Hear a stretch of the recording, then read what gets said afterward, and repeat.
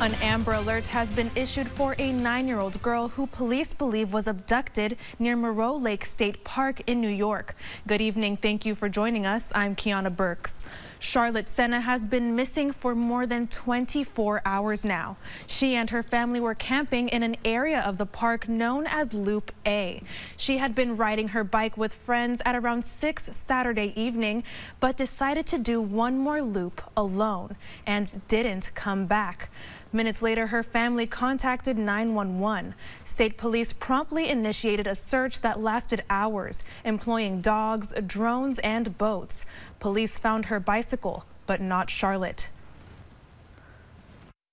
Following our exhaustive search of the park, uh, we we took that, that step of issuing the Amber Alert because we we, we felt uh, that after that exhaustive search, when we couldn't find her here, it was uh, quite possible that uh, an abduction had taken place. Authorities believe she is in imminent danger of serious harm and or death.